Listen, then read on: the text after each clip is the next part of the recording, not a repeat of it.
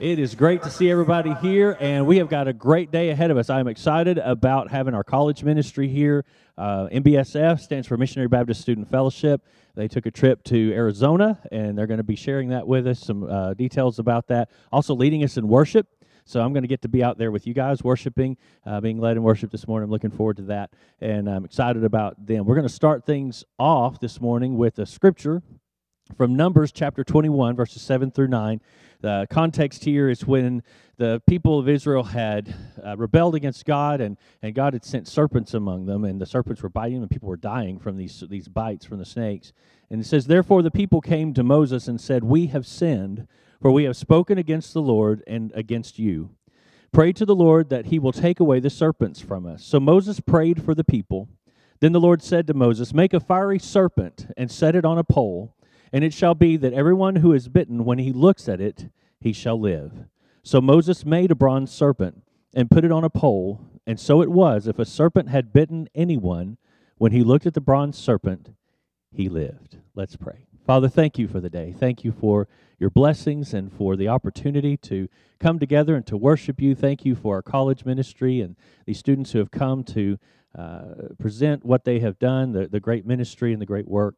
And Lord, I pray that you would bless them this semester as things are just getting started. I pray that you would give them great uh, comfort and encouragement in their school and uh, help them to learn and study and do the things that they need to do. And through it all, Lord, may they be good uh, witnesses for you. And Lord, I pray that you'd bless our church this morning. Help us to glorify you in everything we do. If there's anything that would hinder our worship, Lord, please deal with that in us. Get it out of the way so we can just truly worship you uh, in spirit and in truth. Lord, we thank you so much for all that you've done for us, for the provision you've made for us, and for the healing and forgiveness we have when we look to Jesus Christ, our Savior. For it's in Christ's name we pray. Amen. All right, Bryce, you ready? All right.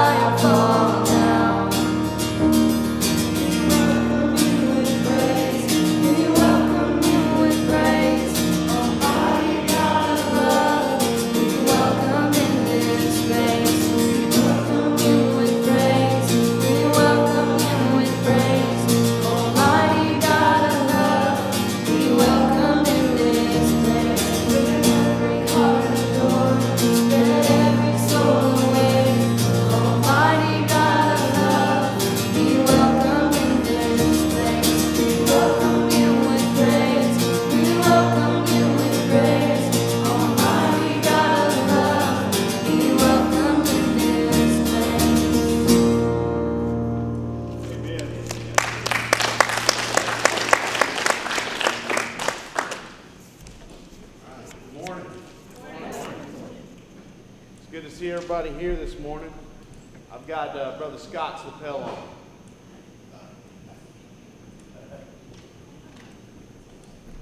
Got me. Check.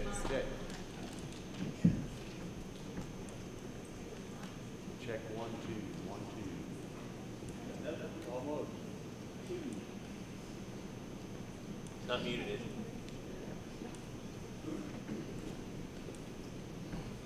No, it's on. Check. Check, check, check. It Just wasn't close enough to my face, I guess.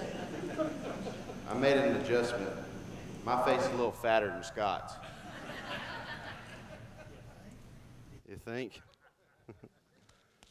my mouth's definitely bigger too.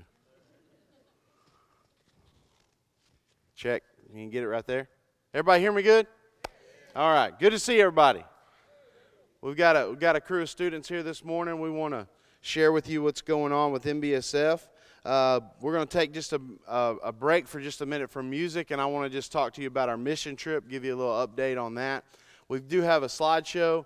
Uh, this was uh, our T-shirt logo that we had. Um, so it wasn't really like the official trip logo, but it was for us, for our group. We had uh, three different groups go to Flagstaff uh, for an eight-day trip there. It was a 10-day trip in all. Uh, I think uh, with travel and everything, it was it seemed like a month, but um, we had a really good time. Uh, our our college group went. We had about 15 students from our group go. Then we had another group from Victory in Russellville. They have a college ministry there on on Tech's campus, Arkansas Tech's campus. They joined us uh, out there. They had a, a similar size group, and then there was. Um, a, a, family from Barron Cross in Arkadelphia that went as well, a family of six. And then we also had two sponsors from Barron Cross for our group, which is Troy Garland and Billy Garland. Troy Garland is a former MBSF director in Arkadelphia. And so we had a really great time uh, with this trip. Uh, while we were there on the trip, uh, I'm going to shut up and let some students talk in just a minute. But um, while we were there on the trip, we, we basically had three, three objectives. The main objective was a sports camp that we did at the YMCA in Flagstaff. Uh, we went, we had a uh, mission group. 516 Missions is sponsored by Pauline Baptist Church in Monticello, Arkansas.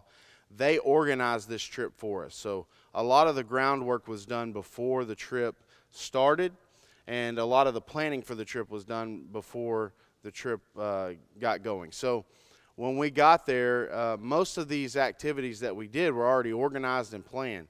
So we were able just to kind of go in, do just a little bit of fine tuning with our groups, and then hit the ground running. Uh, we we had around 60 to 40 kids show up. Um, it kind of fluctuated on, on the day. Some days there were lower numbers of kids, some days there were higher number of kids. But at the YMCA, that's where we did the sports camps. Uh, I say sports camps, they were really kind of called X camps because we had some different tracks. So most of y'all are familiar with Vacation Bible School. It's a similar setup to that, except it was three days. And during that during that time, uh, there were there were sports like basketball, soccer that they could they could go and, and learn some tips on. We had some uh, students and adults there that were equipped to teach those those sports. But then we also did uh, courses like in engineering uh, where they build model sets and um, I didn't teach that class, so that was a little bit out of my depth, but it was really cool to see all the things they did, and, and we have some pictures of that in the slideshow. And you, you guys just go through those slides. Um, just keep keep running through those until we're done. Uh, but um, I, I I was able to teach one class, and there's some pictures of that. I did a survival class, which we actually taught you know some different techniques on like how to how to survive in the wilderness. Like, I got to drink dirty water through a straw, you know, one of those filtering straws, and uh, sh- showed them how to ta- tie knots, and and we showed them how to build a fire, and what you should carry with you, what happens if you run into a bear or a mountain lion, or we try to keep it local for that area, like what they're going to face if they go in the wilderness there, and. Uh, through that experience, you know, you learn a lot. Flagstaff is an area of the country where a lot of people spend their time outdoors. They would much rather go hiking in the mountains than go to a movie. And so uh, it was really neat to talk with those kids. A lot of the, the kids we had uh, were, were Native American family and heritage. And then we had some kids that uh, moved in. It's kind of a melting pot area. Uh, nobody's from Flagstaff, they all move there. Uh, matter of fact, in the church, uh, we actually met one person that was born in Flagstaff and raised there. They were members of the church there. Uh, so that was kind of neat. But this, the X camps, sports camps, that was kind of our main focus uh, for the week. But we did some other things. They were having flooding, a bad flooding issue while we were there. So we had an objective where we did sandbags and filled sandbags to help the community, to help redirect water and stop flooding. It's a bad problem. Uh, when they've had a drought for three years, the water hits the mountain, comes down, and it just pours into the town and, and ruins a lot of people's lives for a while. And so it created a big opportunity for that, for that mission church and uh, for the uh, for the opportunities we had to minister. Another opportunity we had while we were there uh, was just to canvass the city, connect with some of the people, and uh, try to start up as many conversations as we could. And so we really had a good time. But uh, we actually had one of our students, uh, Andy and uh, Kim, are going to come out, and y'all go ahead and come. They're going to use this blue mic. Uh, Andy actually did an internship with the missionary there all summer long about five weeks. And uh, so she was the intern. I'm going to let her talk about that first. I want y'all to hear what her experience was as the intern there.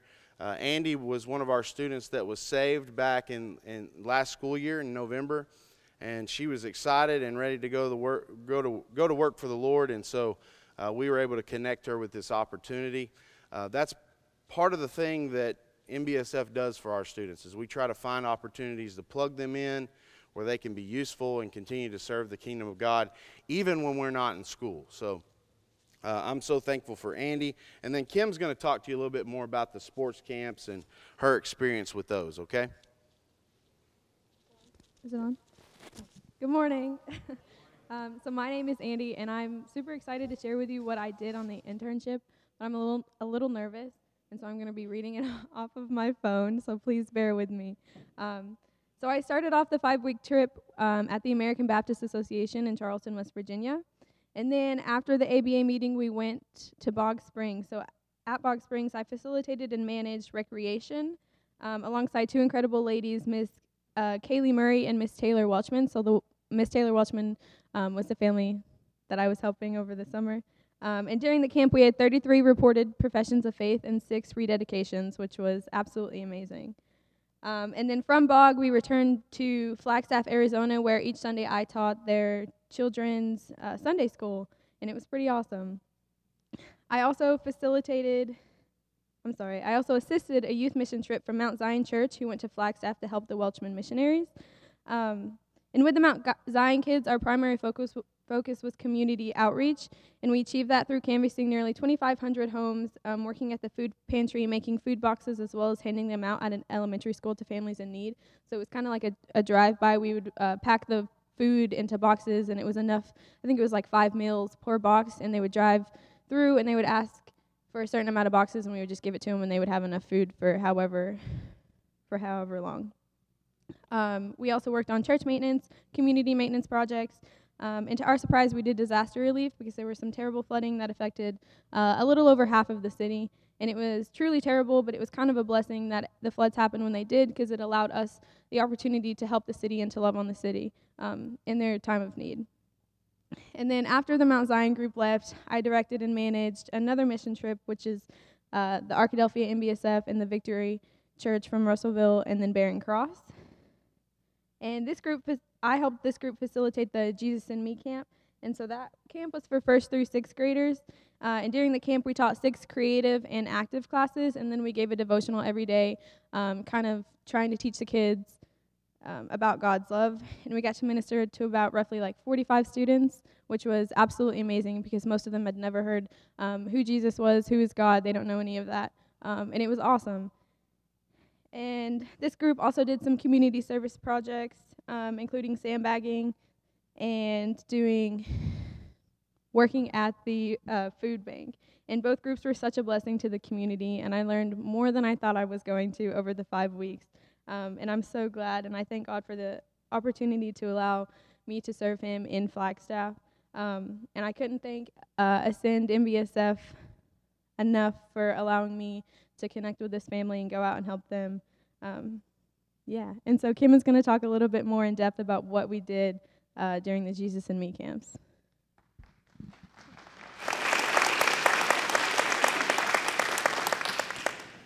Hey guys, so my name's Kim. Um, I went on the mission trip with Ascend. Uh, just a little bit about me. I grew up in church. I've been in church my whole life, but I've never gotten the opportunity to go on a mission trip. Um, so this was something like really special to me. Uh, I went in not really knowing what to expect out of it. Um, Brother Daniel did some training with us, and then when we got into Flagstaff, uh, Brother Sean kind of gave us some tips and stuff.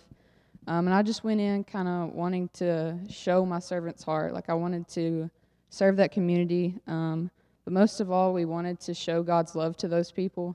Um, and I feel like, especially in today's world, um, the world doesn't show love. Like if you're gonna if you're gonna give something to people, you expect something back in return. Um, and I really feel like our group went in um, just wanting to give love and not expecting anything out of it. Um, so that was really our focus with the Jam Camp, the Jesus and Me Camp. Um, so, like they said, we had six camps. We did three in the morning and three in the afternoon. Um, I helped out with the engineering camp, which is really awesome. You might see some pictures. We built like roller coasters. Um, they did like little sets where they got to build towers and bridges and stuff. Um, the kids were really awesome. They were so creative, but they were also really great at listening during our lesson time. Um, so we had about 15 or 20 minutes where we would, you know, teach a lesson. Um, focused on God's love, but also sharing the gospel with them. And the kids were just so amazing. They listened, you know, they sat there, eyes focused, um, and were just like really involved in it. Um, and it was so awesome to see kids that, you know, probably have never heard anything about God. Like the next day when you ask them what they learned, they'd be like, oh, God loves us so much, and you guys love us. And that was our goal out of this camp. Um, I really, I really believe that the kids um, benefited from it. Um, I think they went out knowing that God loved them and that um, Flagstaff Family Church loved them, even us uh, random Arkansans that they didn't even know where we were from, that we loved them. Um, so I'm really thankful for this opportunity, um, and I hope that just some kind of seed was planted in those kids' lives that um, will change them, that maybe they'll be saved from it. Um, and just that they know that God loves them no matter what, no matter what comes out of it, no matter what happens in their life. Um, so that's all I have. Thank God. Thank God. All right, I just want to wrap wrap up just a few things. Um, Andy mentioned uh, the food bank, which I forgot to mention. There were pictures of that. Uh, that was part of our community outreach, and uh, the, the director of the mission trip that we had, her name is Ashley Ridings.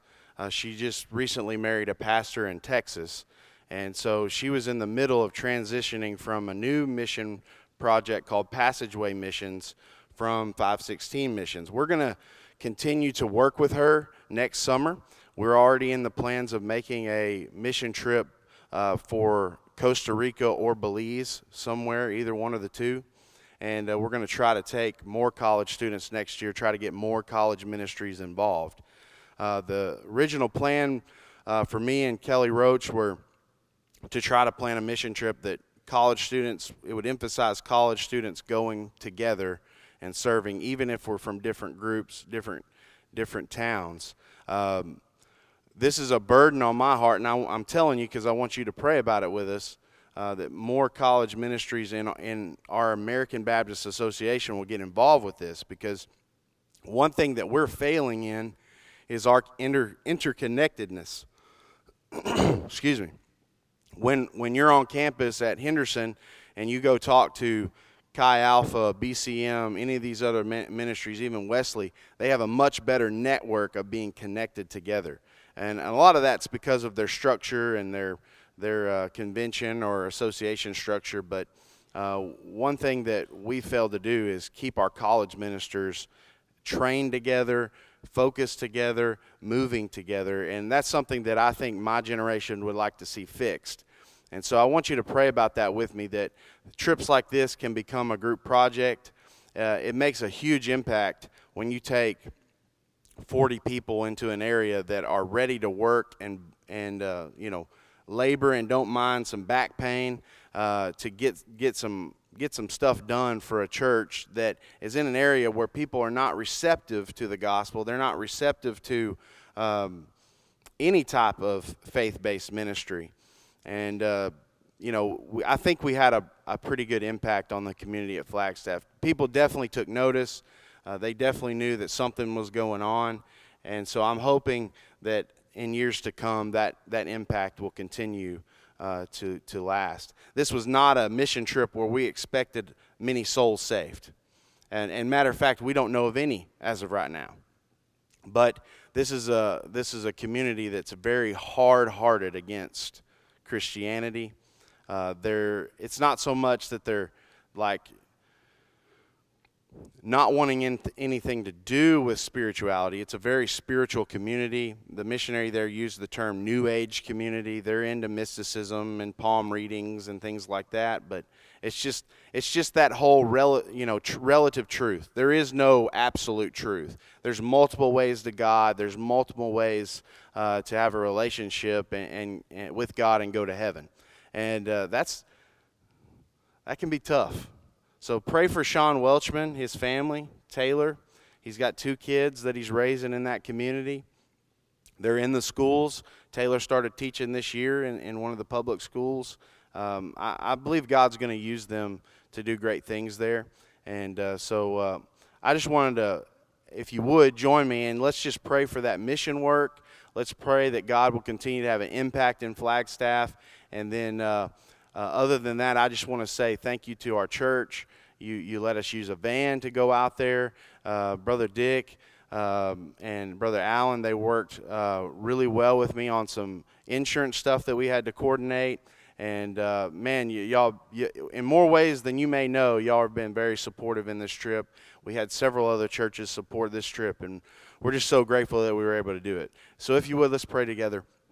Dear Father God, I just want to come before you and lift up Sean and Taylor uh, Welchman this morning, Flagstaff Family Church, the, the work that they're doing there. Lord, they're taking the gospel of Jesus to this community.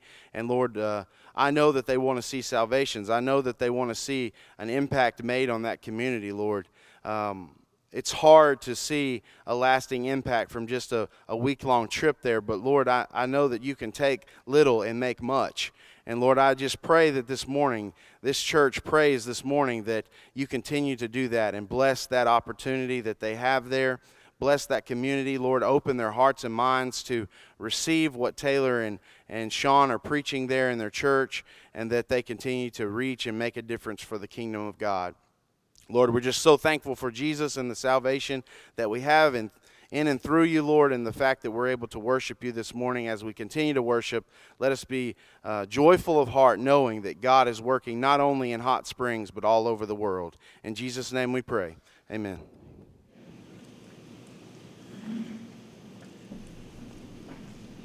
Y'all would please stand up with us and worship.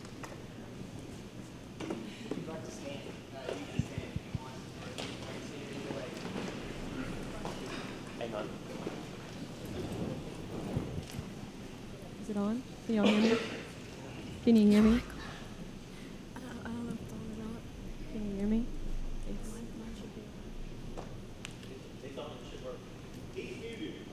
Is this on? Can y'all hear me? Can you hear me? I can I can hear you right here, but I can't hear you like. I don't think this one's on. Is this is this one on? It's not on. Is the red one on? Okay. There we go. Okay. Yay. All right, now we're gonna sing. you were the word at the beginning, one with God,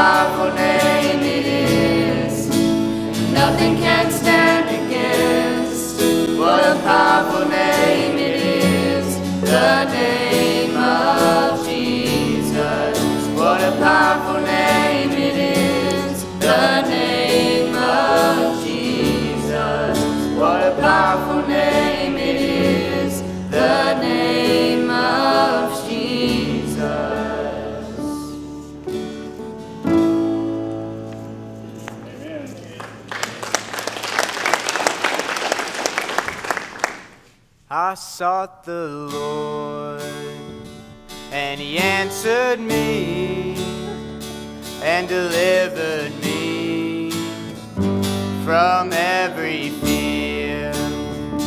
Those who look on him are radiant. They'll never be ashamed. They'll never be ashamed. This poor man cried, and the Lord heard me save me from my enemies. The Son of God surrounds his saints. He will deliver them. He will deliver them. Magnify.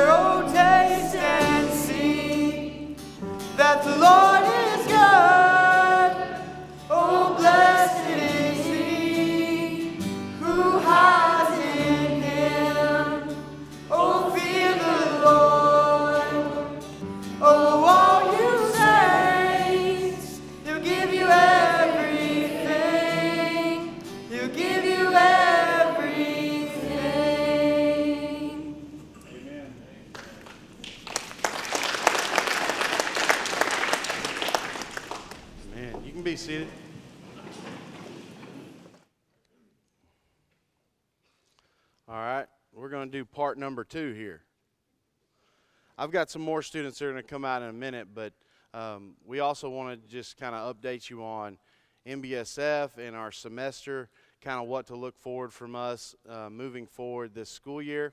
Uh, one of the big things is the schools have started at different times. So we have Henderson that's already going now, and then Ouachita is coming in this week. Uh, so we did make some adjustments to allow for that. Uh, I'm going to share with those share you uh, share with you uh, those uh, changes as we go. We have another slideshow that uh, I kind of do whenever I go to a church and do a presentation, and so I want to share some of those with you. Um, do y'all have those, Jonathan? Yeah, there we go. Uh, so that's I've explained this before, but this is kind of our logo now uh, on campus, and I'm I'm going to talk more about this in my message, but that's our logo, and and most people on campus see that. Okay. Now most churches don't understand that students nowadays they don't know what MBSF means. The students that we're reaching are not all missionary Baptist students. Most of them are not. Um, now some of them some, some of them on my leadership team, most of them on my leadership team are. Uh, but what we try to do is just try to make a connection with a person. And sometimes that logo is the best way to do it because they're going to say, hey, what's that logo? And we say, well, that's our college ministry on campus. And uh, we do, through our MBSF center, we do what's called Ascend. That's, that's just simply A S C E N D, okay? And that, that comes from Scripture. We're going to read that today. Uh, but uh, we call those ministries Ascend Worship, Ascend Lunch, and it's just try. It's just a, a simple way to reach students and uh, try to get more to the heart of. You know, we're a college ministry. We're we're presenting Jesus on campus and the love of Christ on campus, and so that's what we do with that. Um, and some of our main events uh, are uh, obviously Ascend Worship but then we have Ascend Lunch. We also do life groups. And uh, so all these slides in here are about, about those different ministries. And that's really our main three, all right? Now, during these first three weeks of school, we're going to do a lot of stuff. If, if you've been on social media, you've seen our first week schedule. Uh, we're actually, we actually have a, a second and third week schedule. We were going to put those on social media, but some of our other college ministries are, I think, are stealing some of our ideas. So we're actually not going to do that this week. We're just going to post each, our leadership team has that schedule, and uh, we're just going to post each event as we go and, uh, and get people connected. We made a lot of connections uh, this week just with our Henderson students. But I, I, I want to tell you, COVID's had its effect. Uh, in our Heart Start, uh, or not our Heart Start picture, but our heart picture, Henderson does a heart picture, like they form a heart with all the students the, of the freshman class and then take a sky picture of it. You can actually count the students in the picture this year. It's, it's, uh, it's a pretty low number. Now, that doesn't mean that enrollment is super low because there could be several online students. There was also some football team members that weren't in that. The freshman football players weren't in that picture. So there, there are more out there. But as far as on campus, it's, it's slim pickings. Uh, they're actually, everybody's pretty much got a single room this year. They're not doubling up. If you requested a roommate, they gave you a single room. Um, and you're paying the cheaper rate for the, for the single uh, at Henderson. Now, Ouachita is different. They're going to, they require their students to live on campus, so they're probably going to have a pretty normal enrollment they did last year. But um, I've shared this with the church before. We have a difficult time at Ouachita because they're a closed campus. So this year they're bringing, they didn't do it last year, but this year they're going to do it again. It's called Spotlight on Ouachita or Spotlight on Arkadelphia. But basically, it's just an opportunity for us to go on the campus, set up a booth, and we start handing out as much information as we can. Uh, we have three students on our leadership team that are on Ouachita, um, Ouachita's campus. Bryce, who's leading worship, is one of them. That's what he's going there for, to be a worship uh, leader. He's getting his degree in that. Then we have a girl named McKenna from Clarendon, near Clarendon, Arkansas.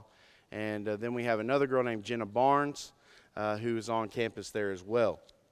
Those three students are going to be working that booth Tuesday night, and they're going to be helping me reach reach students on that campus this week. So we need your prayers Tuesday uh, for that event. That we'll have opportunity, uh, plenty of opportunities to visit with those students. Um, me and Brother Mark talking for church, and and he kind of alluded to this. Just because it's a Baptist school doesn't mean everybody's saved over there. All right. Uh, nowadays, you can pretty much figure that there's a lot of them that aren't. Okay, a lot of them are playing church. A lot of them are checking a box. Uh, a lot of them are appeasing mom and dad, and they're just going to a school because it's a good school, not necessarily because their their faith is directing them.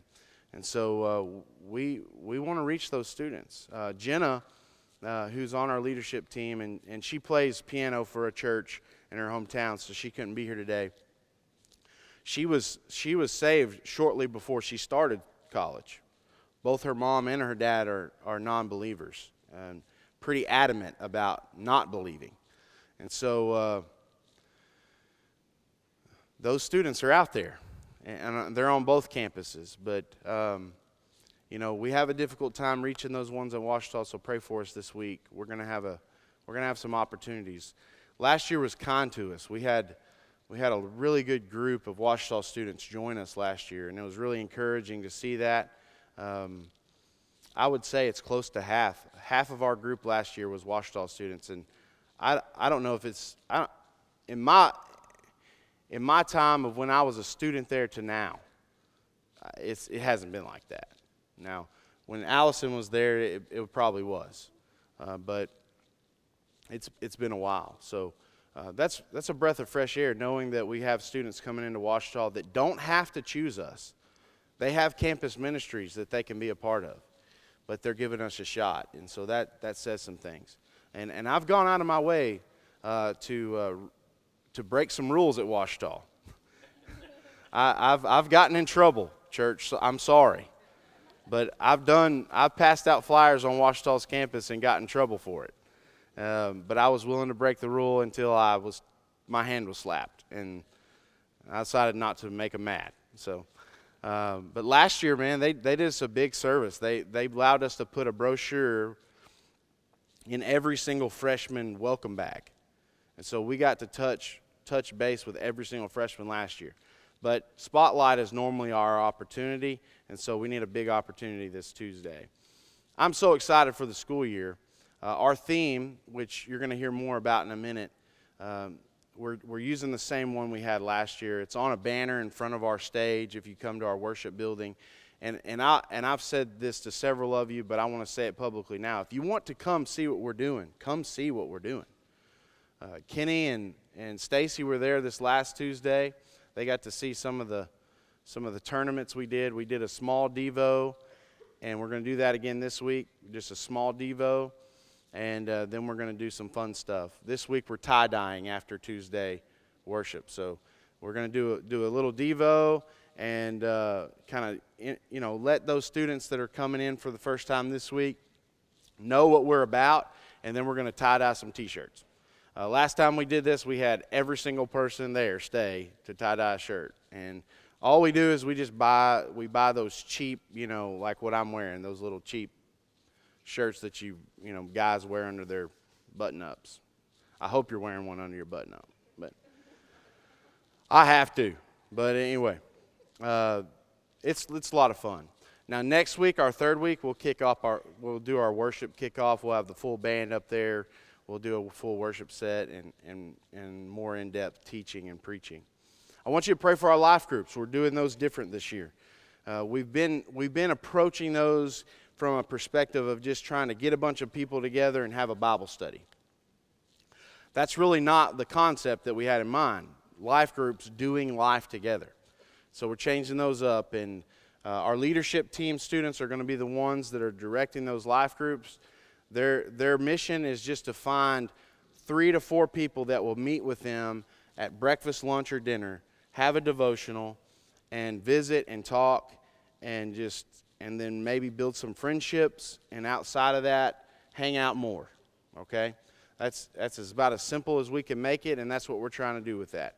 We have so many students that that they're coming into college and they're distracted. They're trying to reinvent themselves. They're, I mean, they're just on guard even. They, they, they don't want to have personal conversations. They don't want to be asked intentional questions. And so the less abrasive we can be, we're not, we're not trying to, we're not trying to, we're not afraid to hurt people's feelings, okay? Because the truth, the truth about Jesus hurts sometimes okay? But we're trying to find less abrasive ways to reach people, soften them up a little bit so that they're more receptive. And, and the best way that, that I can think about this is, is a biblical example with planting seed, right? You want the ground to be receptive. I have a neighbor right now who, who has an okra field that he planted this year, and he said that the ground underneath where he where he plowed it is gotten really compact. And so next year he's going to have to plow deeper. Okay? That's exactly what we're trying to do. We're trying to plow a little deeper to get that ground a little softer so that it'll accept the, you know, accept the seed better. And so just pray for us as we continue to do that. Hannah and Kelly are going to come out. They're going to talk to you together. They're actually a couple, okay? They met each other at MBSF, and uh, they've never done this before. They're, they're, they're both kind of shy. Uh, but most likely, folks, if, if, Kelly, if Kelly walks the walk and talks the talk, they're probably going to end up married. So I told him, I said, I think this would be a great opportunity for you guys to kind of bond through talking about what MBSF is, how it's impacted you. And so they're going to both share with you a few things that MBSF has done, done for them. And uh, and, and I hope that y'all be encouraged by this. After they're done, we'll have one more worship song, and then we'll move forward with some, some with a sermon. Okay. Howdy. Uh, I'm Kelly. This is Anna, and we're going to talk about how MBSF has impacted us. MBSF has given us friends that will last a lifetime. It has given us each other and memories that have made our college experience something to share about. Uh, it has given us a place to grow in our faith, worship our Lord and Savior Jesus Christ, and a chance to lead and serve. And lastly, MBSF has created a space for us to be ourselves as well as support us in our studies through college life.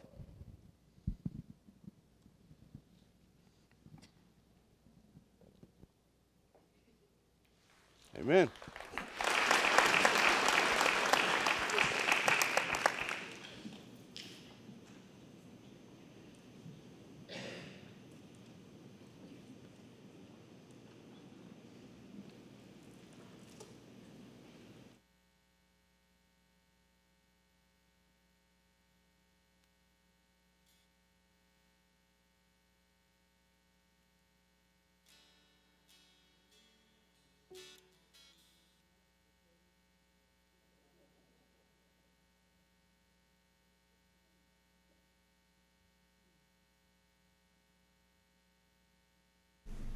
About now?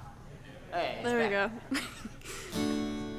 when the music fades, all is stripped away, and I simply come, longing just to bring something that's of worth that will bless your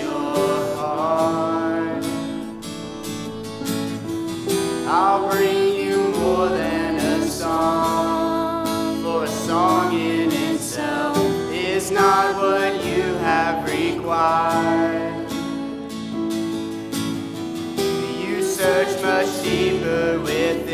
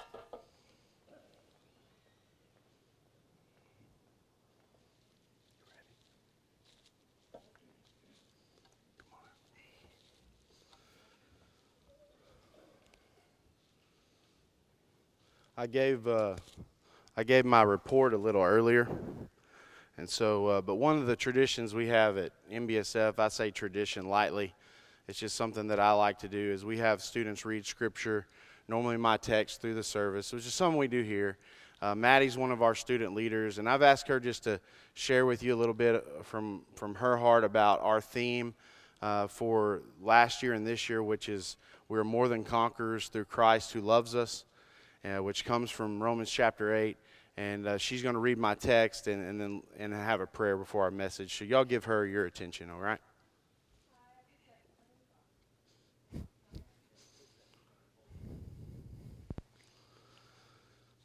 Everything, everything keeps fading. I'm sorry. Oh, okay. I, I'm not a singer. I've never used a microphone. Okay. so, as he said, our theme is we are more than conquerors through um, Jesus who loves us. And how I take that is, is that um, we are more than conquerors when we um, overcome our trials and tribulations through Jesus' love, like Christ like love. And that is kind of what I'm going to talk about how we did that last semester. And last semester, we did that through serving. We served so much because last semester was one of the hardest semesters that we had just because of all the restrictions that we had. So we served to make a healthy and loving environment for everyone that we could who came in our doors.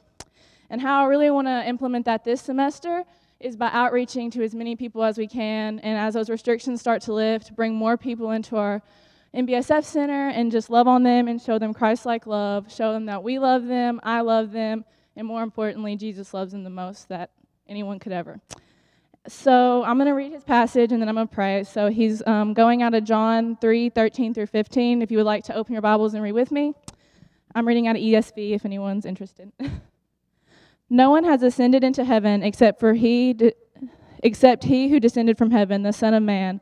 And as Moses lifted up the serpent in the wilderness, so must the Son of Man be lifted up, that whoever believes in him may have eternal life. All right, and if you bow your heads, I'll go ahead and say a quick prayer.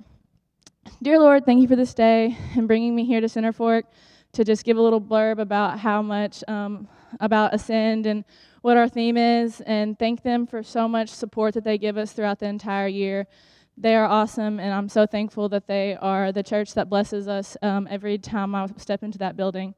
Um, also, I would like to just pray for Center Fork as a church through this um, year. Hopefully, they have all the growth and love and support that they need to be successful. Also, the same prayer for Ascend that we're able to bring those people into our doors, open them, love them, and welcome them. And lastly, I pray for the message that Brother Daniel will able to um, reach all of our hearts, that we'll be open and um, accepting to listen and hear what he has to say. In Jesus' name I pray, amen.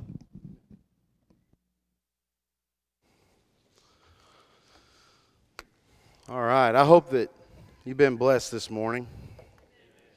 Take your Bibles, turn to John chapter 3. If you want to hold that spot that she read, that'd be great. Um, Brother Sean read to you uh, earlier Numbers 21, which is uh, inspir- inspiration, really, um, what Jesus is, is talking about there in, in, in verse chapter, uh, verse uh, 14. Uh, so uh, I I have a bit of a thought this morning. We're not we're not gonna we're not gonna preach a, a full sermon here. Okay, I, I, I went to preach at a church a couple weeks ago, and I gave a pretty lengthy report, and I said I'm gonna preach a sermonette. Okay, I figured out that that gets me out of trouble, brother Scott, because if I preach 30 minutes, that's a sermon, right? If I go 10, that's a devotional. So sermonette, little sermon, all right, little sermon, all right. So if, if I chase some rabbits or if I if I go a little little long, 20 minutes, we're good. Because I said sermonette. Okay? So but we may we may uh, we may get breeze through this, but uh, we, we were able to take a group yesterday to uh, Amplify. If you're not familiar with Amplify, it's, it's basically just a Christian concert venue. It's Woodstock for Christians. Woodstock for Arkansas Christians. Uh, believe it or not, there were people there with their shirts off. It was uh, pretty insane watching this, but it was raining. We'll cut them some slack. I think they just got tired of wearing a wet, a wet shirt, but I really wish they would have kept their shirt on because all that greasy food we ate there the other day was a little hard to keep down in some of those moments. But when you're at Amplify, there's there's a big stage, big screens, and and I mean, uh, you do not have to get very close to that place to hear and see what's going on. It's a very large display, and it's that way for a reason, right? They're they're trying to get people's attention. And as I was thinking about um, my my text for this morning, it really just kind of worked well. Um, I told you I was going to talk about our our logo there, and I may have said this before. Um, but I chose, I chose that symbol, that chevron, for a reason. Um, some people see that, they associate it maybe with the military. Um, it's, it's not. For me, I was just trying to find something that looked a little bit like our landscape. Uh, we're got the Battle of the Ravine, Brother Mark. You know, Ouachita versus Henderson. There's the valley there that everybody uh, plays in, and we're up on the hill. We're kind of up on top. Our building was built by Barron Cross a long time ago, the, the front side of it, and it was kind of designed to look like a lighthouse, to, to be something that, that people see and it catches their eye. People still to this day ask me if it's a greenhouse or a swimming pool. And I tell them, no, we, do, I, we, we don't have a swimming pool in there, but we do have worship, and we want you to come. So I was trying to figure out something that kind of went along with that. And Brother Scott and Brother Sean have just gone through the same process with getting our new logo, which I love here at Center Fork. I love that logo. I appreciate the hard work they put into that. It's great. And uh, but I also wanted to find something that I could use to explain to students what what I'm trying to do in my relationship with them. And and it's right there in, in verse 13 that we read. Only one has ascended Jesus.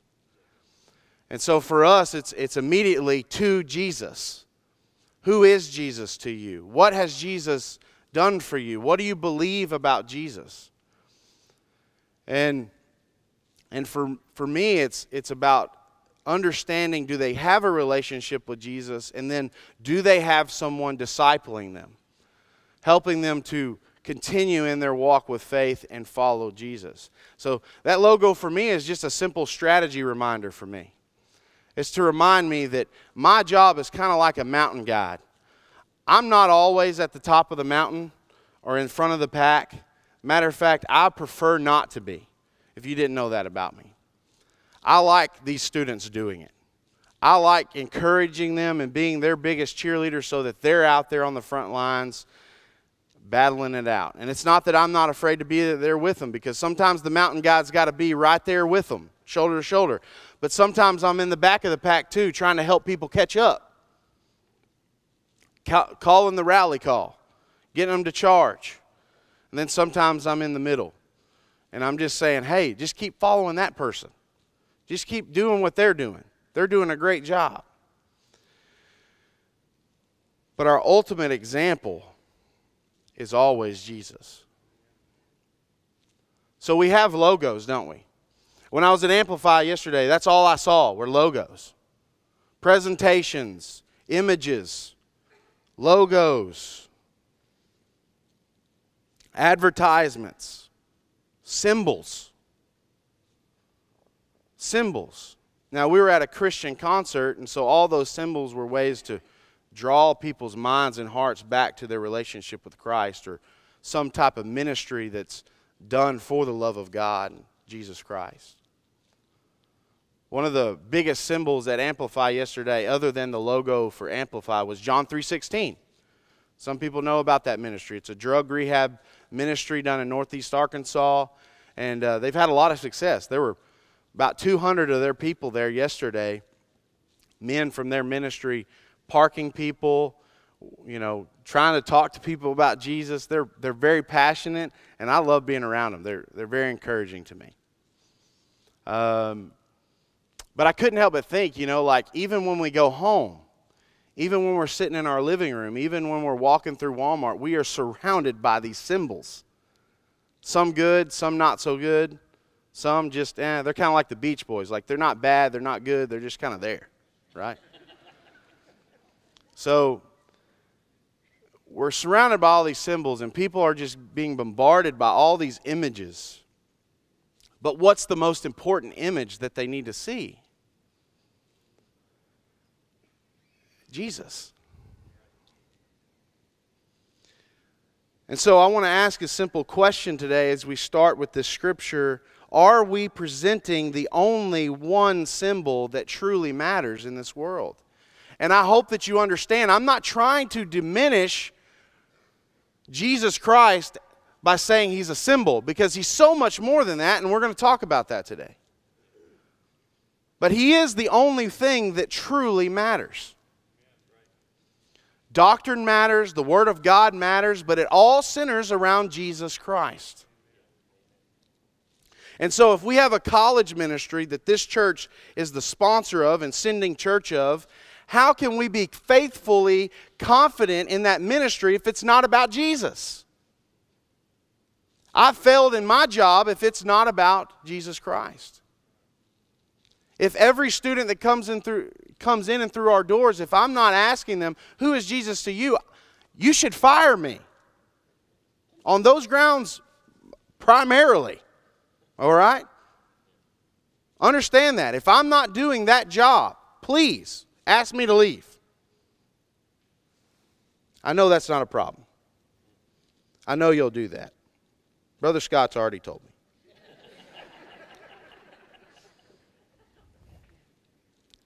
In John chapter 3, verse 13, we see a very important teaching about Jesus. No one has ascended into heaven except he who, ha- who descended from heaven, the Son of Man. There's only one person who is the bridge, the ladder between this world and the heavenly one, this realm and the heavenly realm, this life and the life eternal. And that's Jesus Christ. Only He knows the mysteries of heaven. Only He could speak to the mysteries of God. What is the will of God? What does God want you to do? And we got some really great material. We got a whole book full of several other books, a canon of, of the Word of God that speaks to Jesus being this bridge. He came. He came to earth several times, even before the incarnation. Only He can go back and forth. And the disciples even saw Him on the Mount of Transfiguration, bringing heaven down to earth for just a moment. A glimpse of what it's going to be like at His second return. I can't even imagine. I really can't. The more I study the Bible, the more I realize I, I, don't, I don't know anything. There's a God, His Son is Jesus, and He came to die for us. We have the Word to teach us. And we should study that Word. We should try to know everything about it we can. But, folks, that's about all I got right now. I'm just like you. I have to take one verse at a time, one word at a time, learning, figuring this out. Jesus is the only one who has ascended, come from heaven, and goes back to it. And if you want to be on that bridge, if you want to climb that ladder to heaven, it's got to be through Jesus. There is no other way. And that's what I meant when I said we live in a world that doesn't like abrasive doctrine, that doesn't like abrasive theology and teaching, because they don't want to hear that they can't get to heaven by being good. They don't want to hear that their grandma or grandpa, who was atheist and died, isn't going to heaven. They don't want to hear that. I wouldn't want to hear that. I really can't blame them. Because it saddens me to know that there's people that I care about that aren't going to be in glory with me. There's people right now that I care about that are not saved people. And it breaks your heart. But the truth is, Jesus is the bridge, Jesus is the door. And I'm saying things that He said. I just said it was a sermonette, so I'm not going to go into all that, okay? Look it up on your own. Verse 14 we have here the only symbol that matters. As you read this story, I want you to picture what those Israelites were experiencing in the desert. No one has ascended into heaven except he who descended from heaven, the Son of Man. This, this conversation that Jesus is having with Nicodemus here isn't a bunch of random verses that stand on their own. They do that, but they're all woven together. It's all bringing, it's all coming to a point, and unfortunately, we're just looking at the middle part today. But it's a really great point that he's making here. No one has ascended but the Son of Man. And as Moses lifted up the serpent in the wilderness, so must the Son of Man be lifted up. So, why has the Son of Man ascended and descended? Why has he done all this? That's right. A lot of great, a lot of great things being said. Can you imagine those Israelites? I can imagine them because I'm like them. God, why aren't you doing this for me? God, why? Do you know what you're doing? I met my, one of my new best friends. We met on the mission trip. His name's Logan. Logan's from California. He's kind of a hippie. But he's a saved believer now. He's, he's a Christian and he, he loves the Lord. He's serving at a church in Texas as a worship pastor. And he had this saying all week. And when you're hanging around college students and high school students, and you, you get the vibe pretty quick, these, these kids are they're, they're a little crazy. And, and you got to be a little crazy to want to work with them, okay? But he would say this. They, they'd start doing something and making jokes, and he'd be like, Daniel, these kids are out of control. And of course, they are. They're out, they're out of control. I'm not their mom and dad. I'm not going to spank them. Most likely, their mom and dad have never spanked them. And that's probably what they need. They're out of control. They're hyper. They're excited about life, a little out of control. That's what these Israelites were. That's what we are today. We're out of control.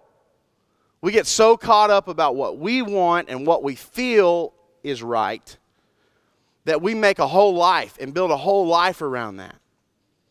And we say, God, why aren't you doing this for me? God, why, why can't I have this? Why did you say this when I really want to do this? This feels right. I want to continue doing this. complaining against God, complaining against godly leadership. So this goes on enough, and God decides to do what he always does with sin. See a great teaching here. What is God's reaction to sin? Judgment, punishment. And so he sends these snakes into the camp. And these snakes are a form of God's judgment. Most definitely, make no doubt about it. Those snakes are there to judge. Am I going to bite you or I'm not? Snakes are still doing that today, aren't they? Some, some are nice and they give you a warning, but even they'll bite you too, right? Snakes enter the camp and they start biting people, and these people start realizing maybe we shouldn't have been complaining. Maybe we should have been following God and His commandments.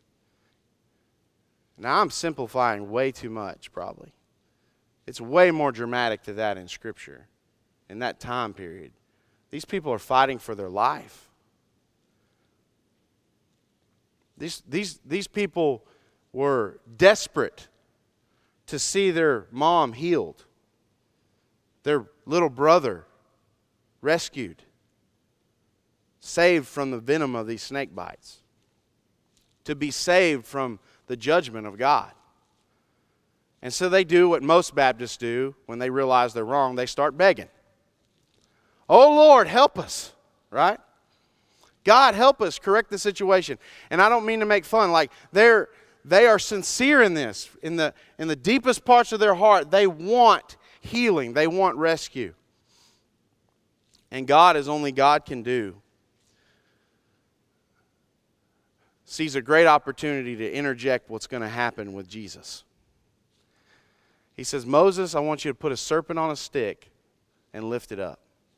Take the, take the thing, the symbol that is bad, and put it on a stick, and we're going to make it good now. We're going to redeem this symbol of the snake. And so if you look at the snake after being bitten by the snake, you live. Sin is a terrible, terrible thing, isn't it? It was, it was out of control in Jesus' day, and it's out of control now. But it's fenced in now. It's got a barrier now. It's not completely out of control, it just seems like it is because God sent the Son of Man. The Son of Man descended so that he could ascend not by himself, but with others. We have a symbol that matters, but is also so much more than that. This verse is a direct connection to how God deals with sin and rebellion. He does judge it, but He also provides grace grace, mercy, kindness in the midst of chaos. Look at verse 15 with me. That whoever, why was the Son of Man lifted up? So that whoever believes in him may have eternal life. So Jesus is saying to Nicodemus, I'm going to be like that serpent. I'm going to take on sin so that others can look at me and live. I'm going to take on sin. Not just your sin, Nicodemus, but everyone's sin. So that I can help you live. Make no mistake, Jesus is telling Nicodemus this so he can witness to Nicodemus. He can see Nicodemus come to him as his Savior. So it's a really great gospel conversation. I love John chapter 4, the next chapter where Jesus has another gospel conversation with a completely different kind of person. But here you've got Nicodemus. He's educated and he thinks he knows everything. That sound familiar? That sound like some college students? They th- they're educated. They think they know something. I, truth is, I don't know your heart this morning. I don't, I don't know every experience you've had. I can, I can make judgments up here because it's funny, okay? I'm doing it as a joke. The truth is, I don't know. I don't know if you're saved or not. Some of you I've known for a long time now. I don't know if you're saved or not. It just may appear that you are. Only God truly knows your heart. And only you and only you know if God truly knows your heart. And so the, the simple message this morning, you, you drove to church this morning just so you could hear, Jesus will let you live. Look to Jesus and you'll live. And that may sound simple to you, but it is most profound thing that has ever happened in all of time. Look at Jesus and live. Look at Jesus and find healing from your sin. Look at Jesus and find hope, not wishful thinking, a confident belief that you know that you have a Savior that loves you, that has died for your sins, paved a way, paid a way for you to have an eternal life with God. Why was the Son of Man lifted up? Because he loves you, of course, but also because he wanted to give you eternal life. What does that mean? Whoever believes in him may have eternal life. Another way of saying that word eternal life could just be the life in the age to come. The life in the age to come. That's another way that could be translated. That means there's a life coming that's better than this one. And you can have a part in it. Because you cross the bridge with Jesus holding your hand, you get to be a part of that life. A life without sin, a life without pain, a life without regret, a life of hope, a life of eternal love, forever love, forever kindness, forever joy. The things in this life that we get just a small taste of, like this sermon, just a small part of it. We get more, much more in heaven. Much, much more. Does that mean, though, that God's just made his eternal life available to us in the future, or is it available to us now? I would say to you this morning, and if you want to argue about this later, we'll do it. I would say to you this morning that you can experience this life a little bit now. What are the greatest gifts that we have? Faith, hope, love. How about Galatians chapter 5, the fruits of the Spirit? How do you experience those? I had an atheist tell me one time that he could experience those. He could have the gifts of the Spirit right now active in his life. And I said, No, you can't, because you're not saved. You don't have the Spirit. You want to experience eternal life now, get to know Jesus. Ask Him to be your Savior. Start following Him. Romans 8, the Holy Spirit will dwell within you, He'll seal you in Christ. You get to start experiencing that life a little bit now. You get to have a little bit more joy, but the perfect joy, the joy that comes through salvation, the joy that comes through knowing Jesus. You get to have a little bit more patience. Okay? Not how long you can wait, but what you do while you're waiting. You get to have a little bit more love in your life agape love, not just from, the God, from, from God our Creator and Jesus Christ, but you get to learn how to love others the way God loves you. That life begins now. As soon as you receive Jesus, I encourage you this morning taste and see that it's good. Eternal life is waiting. It's waiting for you now. Are you going to experience it? But the only way is through Jesus. Now, I keep saying that. Jesus is the only way. That's because this symbol is the only one that offers life, that truly offers substance and life. And it's because Jesus said it, He laid His claim on it. John chapter 14, verse 6 I am the way, the truth, and the life. That's a great verse that many people use in evangelism because it's showing that Jesus is the way. This is the claim that refutes all other claims. This is the claim that Christianity stands on and says, nope, it's not Buddha. It's not the Hindu gods. It's not atheism. Make no mistake, atheism requires a lot more faith than Christianity. It's not those other things, it's Jesus. Because as Christians, we have that confident belief, that hope to say, it is Jesus that is the way. Jesus is the way. This is the only symbol that offers life, but it's also the only symbol, symbol that offers power. Power. 1 Corinthians 1:18 tells us Jesus is or explains that Jesus is the power of God for salvation. It is only Jesus that has the power. His symbol on the cross, His symbol as the resurrection and the life that offers us power in this lifetime.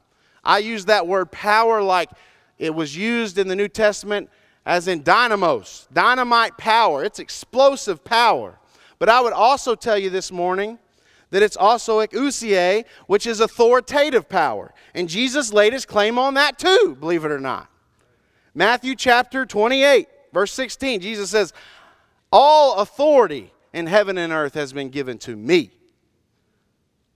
Not Daniel Ward, not Sean, not Scott, even though we're, we're great guys that love the Lord and trying to serve Him the best that we can. But it's not our power that we stand on, it's Jesus' power. This church, its power that it stands on is all centered in Jesus. It's His authority. Why? Because He said it was. I'm not one to argue with God. I've seen enough people make that mistake. In my youth, I've made that mistake. Some of you say, Well, you're still young, Brother Daniel. Yeah, I am. I'm younger than you. Okay? But I'm learning. I'm not going to argue with God. It's His authority, it's His power. Now, some, somebody, Brother Sean, somebody after church is going to hear me say something, and they're going to, Are you arguing with God?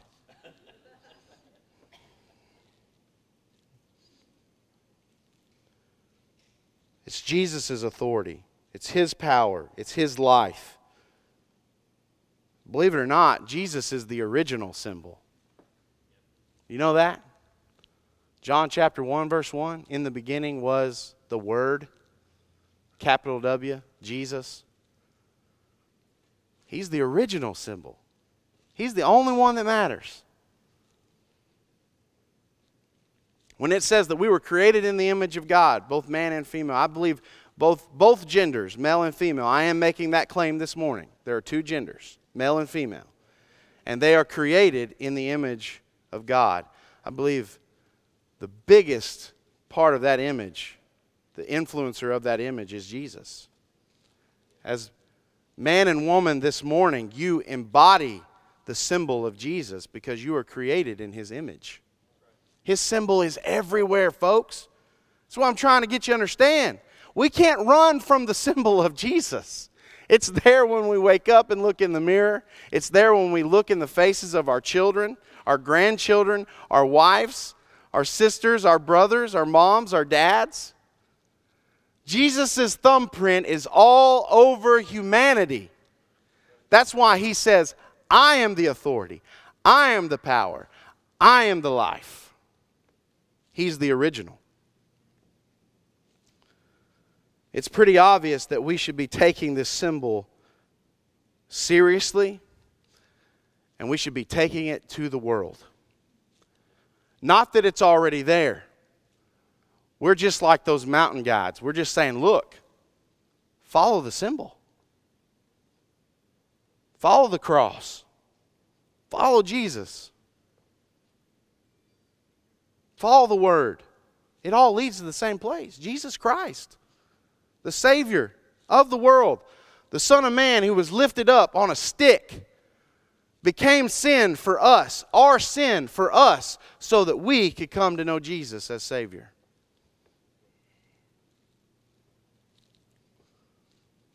No one will find their way to the Savior. I'm not going to say no one. Maybe there's, there's people out there that have, but I say that this morning hoping that you understand. Most people do not find their way to the Savior unless they're told about Him. And I can prove that with Numbers 21. It's in the it's in the Jesus' own illustration. I'm going to steal from that preacher this morning. Jesus said, The snakes bit them, and they had to look at the pole and live. How'd they know where the pole was? How'd they know to go to the pole and look and live? Word of mouth. Or somebody took them there. Somebody said, Brother, strap on my back, man. I'm taking you so you can look and live. Sister, come on. I'll hold your hand. I'll walk with you so that you can go to the Savior and look and live. When are God's people going to start asking people, Are you ready to look and live? Are you ready to go to the Savior? The Word of God is so full of rich teaching. But none of that is going to make a difference in a person's life unless they know Jesus. If they've never looked and lived, the rest don't matter. You've got to get that part first. When they come in the doors of this church, look and live. When you leave this church and you go to work, look and live. When you're mowing your yard and you have that conversation with your neighbor, look and live. Quit worrying about whether or not they join the church and worry if they're going to heaven. It's time to say, look and live. Because only Jesus can save you, only Jesus can save them.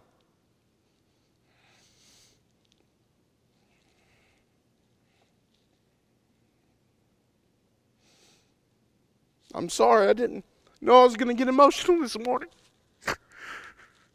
I just realized, though, all the faces I've seen this week that don't know Jesus.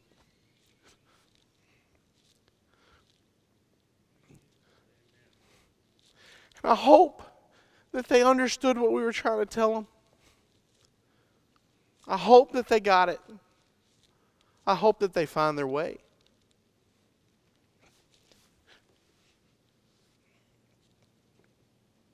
Heaven and life are found in Jesus, our Savior. And we all need to submit to this message of salvation. We've got to quit trying to save people on our own and point them to Jesus. We can't save anyone.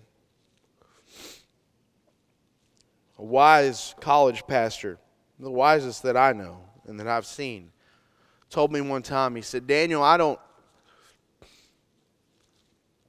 I don't put a lot of stock into the students that parents or pastors bring by my office.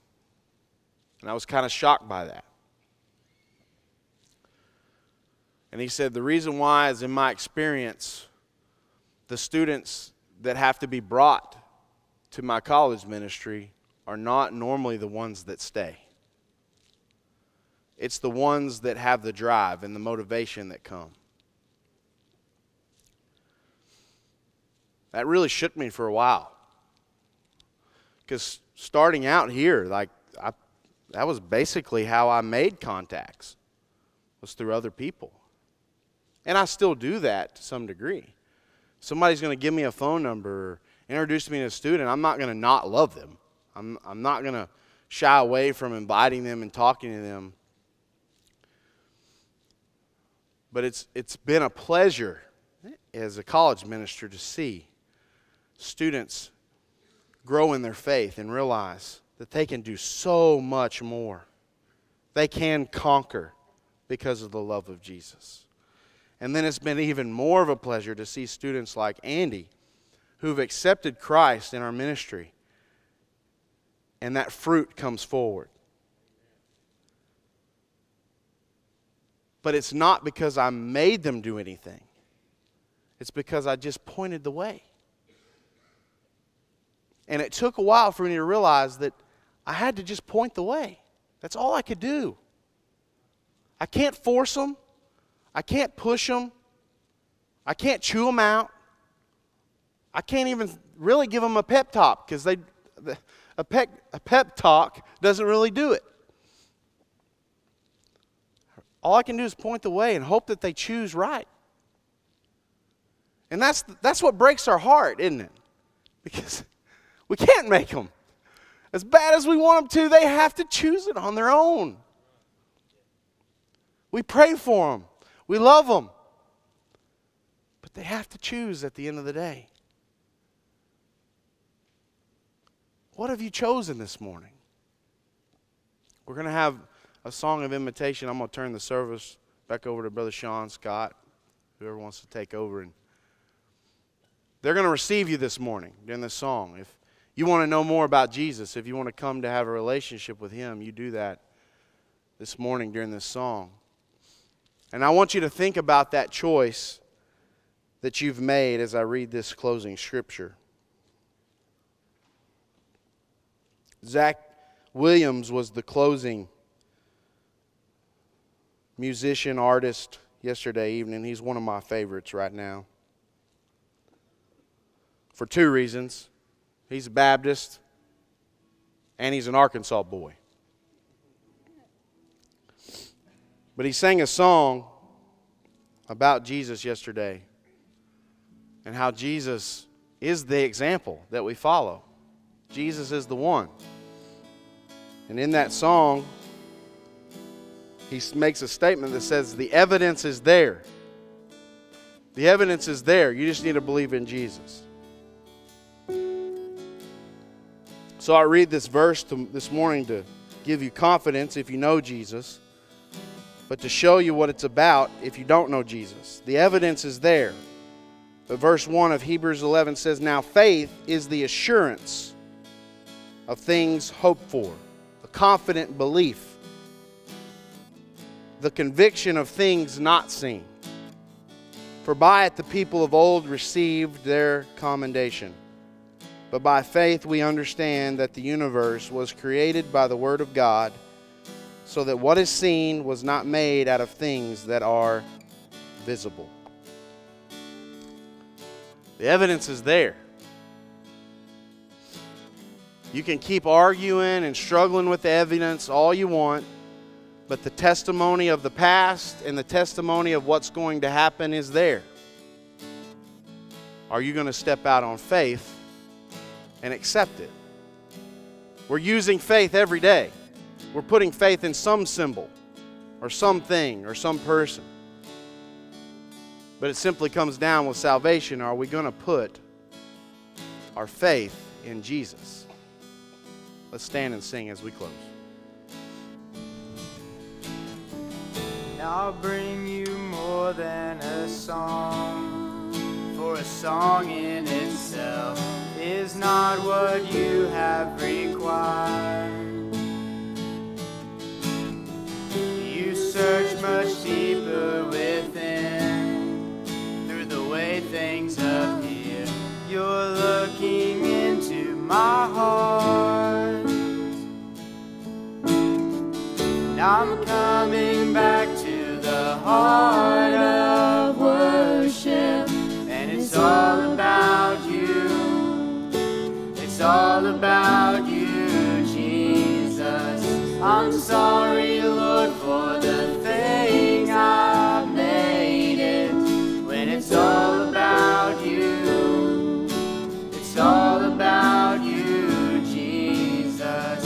And I'll bring you more than a song, for a song in itself is not what you required. You search much deeper within, through the way things appear. You're looking into my heart. I'm coming back to the heart of worship, and it's all. It's all about you, Jesus. I'm sorry, Lord, for the thing I've made it.